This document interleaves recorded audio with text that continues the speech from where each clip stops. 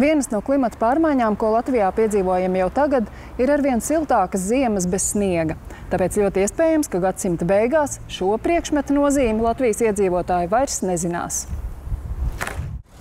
Ne tikai retāki ziemas prieki, bet arī kaitēkļu savairošanās un karstuma viļņi, kādus piedzīvojām šovasar, ir globālās sasilšanas izpausmes mūsu platuma grādos.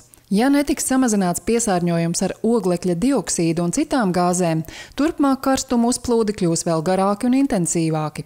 Latvijā būs arī vairāk nokrišņu un plūdu, un rezultātā mainīsies gan flora, gan fauna. Ir vairākas uh, dzīvnieku un augu sugas, kas ir īpaši jutīgas pret temperatūras izmaiņām.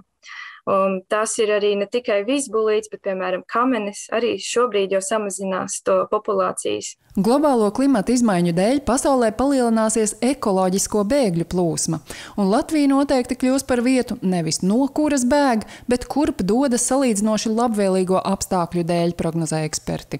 Arī daudzām tautsēmniecības nozarēm nāksies pārkārtoties un pielāgoties citādajam klimatam. Es pieņemu, ka vislielākā pielāgošanās ir jāveic dažāda veida nozarēs, kuras ir saistītas ar eh, laikapstākļiem, visticamāk, lauksaimniecība, eh, tātad meža saimniecība, kā arī, protams, medicīnas pieņem, jo, jo būs vairāk tātad šādi gadījumi, kad būs ekstrēma karstumviļņa un cilvēkiem, kuriem ir vāja ar sirdi vai, vai kaut kādā veidā ir grūti paciest šo karstumu, ir nepieciešams uh, atrast dažādus veidus, kā no tā veldzēties. Ne ar politikas maiņu, ne zaļu dzīvesveidu klimata izmaiņas, diemžēl, vairs nav iespējams apturēt, atzīst speciālisti.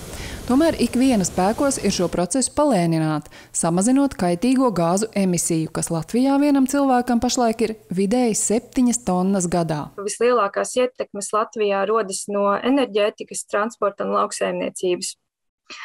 Un man personīgi patīk apsvērt pie katras savas rīcības, kāda būs tā ietekme potenciālā uz vidi, un iespējams apsvērt arī kaut kādas alternatīvas. Eh, nu, var sākt ar to, um, ka tērējam mazāk naudu lietām, kuras mums iespējams nevajag, vai varam aizņemt vai nomāt. Citi ieteikumi - pārskatīt uztura paradumus un ēst vairāk Latvijā izaudzētu sezonas augļu un dārzeņu, nevis importētos Pārvietojoties dod priekšroku sabiedriskiem, nevis personīgiem transportam un tam līdzīgi. Zana Eniņa, Rēnis Žagariņš, RTV.